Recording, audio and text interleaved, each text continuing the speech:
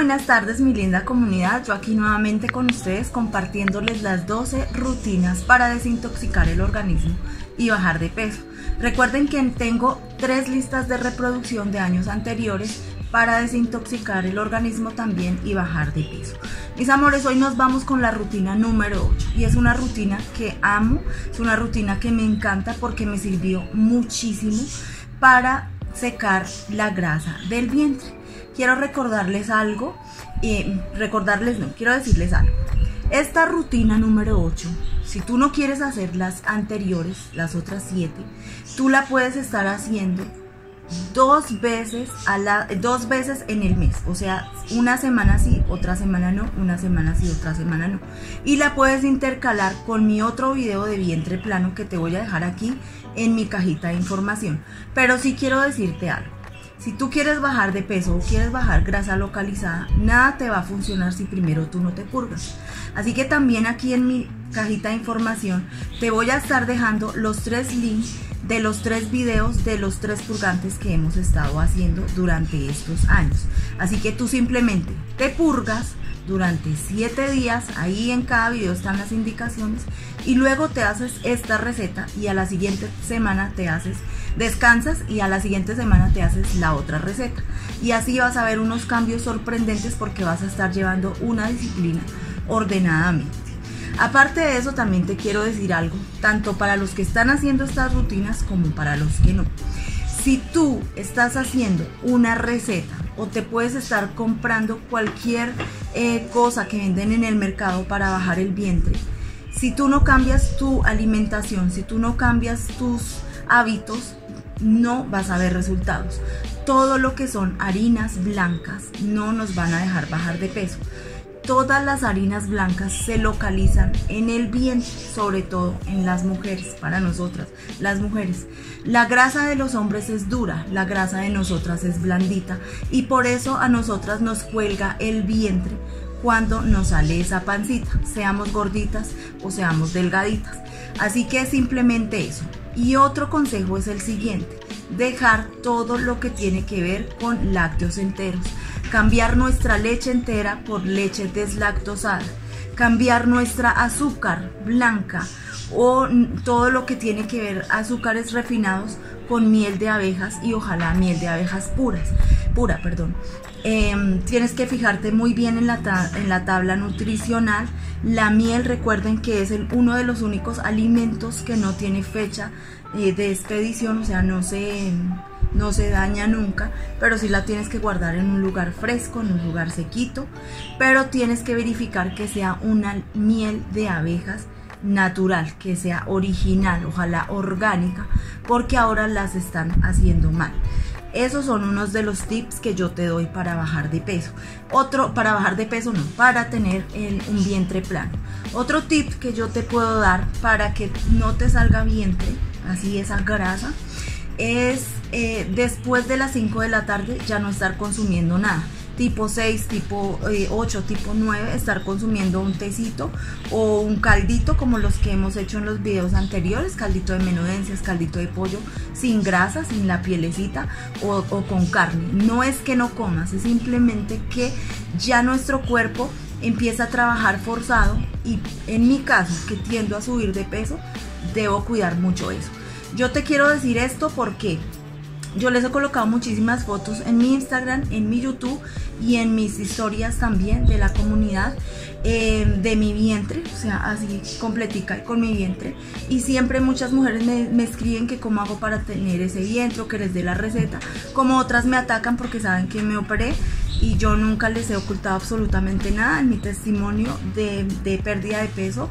Les comenté que yo pesaba 123 kilos, que me puse juiciosa, disciplinada y en cuatro meses bajé cualquier cantidad de kilos que fui a un cirujano plástico y me dijo que por haber bajado tanto de peso no necesitaba una liposucción, pero sí necesitaba un corte de piel y fue lo mejor que le pude haber hecho a mi cuerpo. También les he comentado que este año quiero hacerme ya un retoque porque ya pasaron 12 años. ¿A qué voy con esto? A que tú te puedes hacer una cirugía, pero si tú no te cuidas te vas a engordar el doble. No existe una cirugía donde a ti te digan te voy a hacer esta cirugía y de por vida vas a quedar así perfecta como te dije hoy. No existe. Así que cuando tú te haces una cirugía es cuando más te debes cuidar la alimentación, los horarios y las porciones. Yo les he mostrado que yo como absolutamente de todo, que yo no soy de dietas, pero que sí soy de muchos jugos.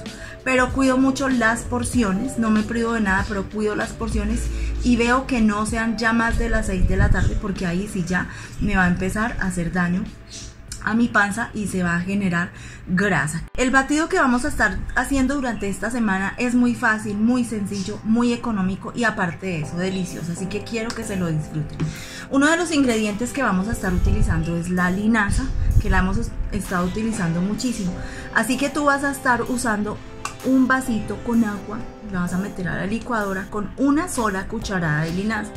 ¿Por qué les, les digo que una sola cucharada de linaza? Porque muchas de ustedes me han escrito de que, eh, Dianita, ¿le puedo introducir tres cucharadas de linaza o le puedo introducir tres limones? Las recetas son así, como cuando tú vas al médico. Si te dicen, te vas a consumir tres pastillas, yo por lo menos sufrí antes de amigdalitis muchísimo, eran solo tres pastillas y no se me pasaba porque cometía el error de que consumía más.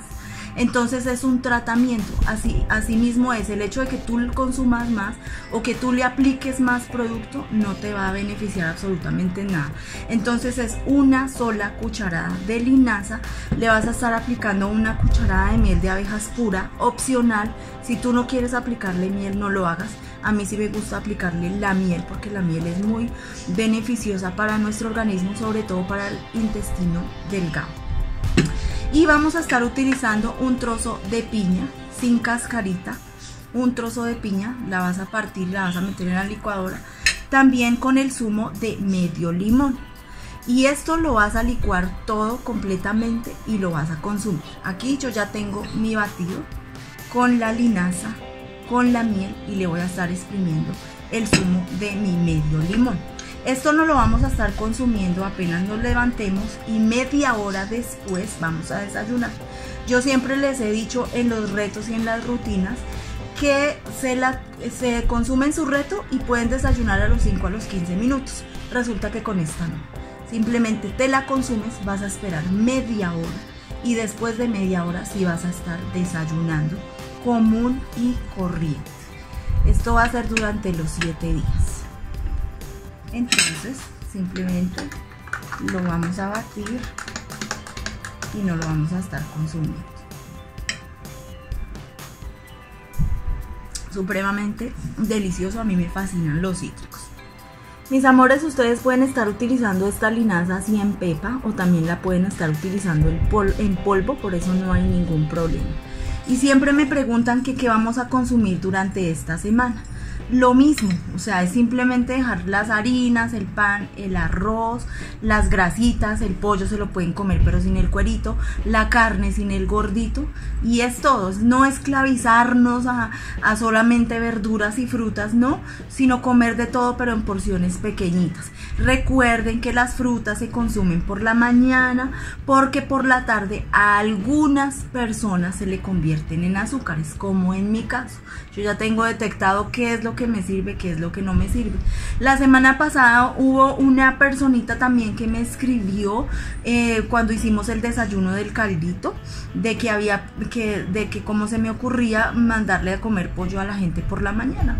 O sea, yo no le veo nada de malo a eso, simplemente que tú ves que si te hace daño, como en todas las recetas lo hemos hecho, simplemente lo abandonas y simple.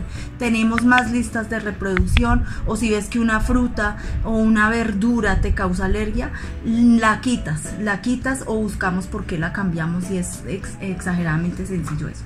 Bueno, mis amores, ¿qué otra cosita? Ustedes me han preguntado que si durante estas rutinas se pueden consumir la receta de el aceite extra virgen prensado en frío y el colágeno.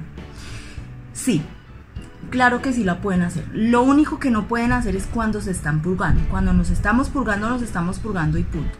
Pero durante estas rutinas, por ejemplo, aquí yo me levanté, me tomé mi jugo para el vientre plano, espero media hora, me consumo o únicamente el aceite como va la receta o únicamente el colágeno.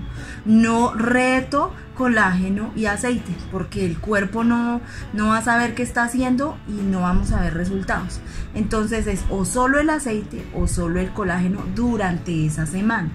y luego vamos a desayunar común y corriente si lo quieren hacer así. Pero yo les digo algo, sinceramente.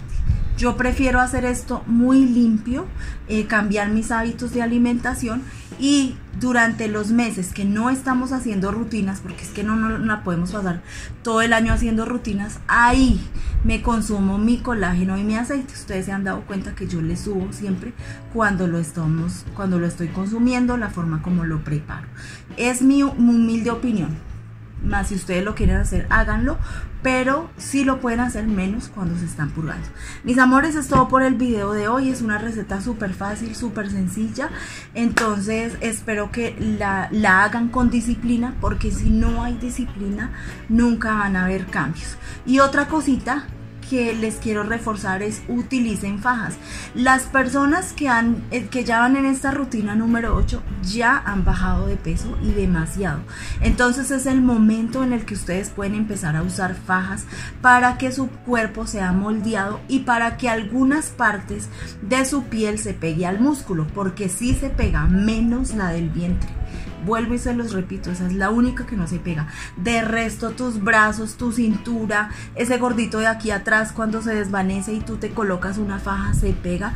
Y ahí es cuando tú empiezas a ver tu cuerpo moldeado. Entonces es otro tipcito que yo les doy. Mis amores, los invito a que me sigan en mis redes sociales, en mi fanpage y en mi Instagram, Diana La Torre, bendita tus manos. Gracias por sus suscripciones, gracias por compartir mis videos sin dar las recetas, eso se llama el trabajo, eh, respetar el trabajo de los youtubers. Gracias por tanto amor y por tanto cariño y gracias por su paciencia, sobre todo a las personas de Instagram, porque yo respondo más YouTube que Instagram porque no me da tiempo, ya son miles de comentarios. Un abracito muy grande y gracias por recomendar mi canal. Un besito, mi Jesús me los bendiga, chao. Nos vemos el jueves con la rutina número 9.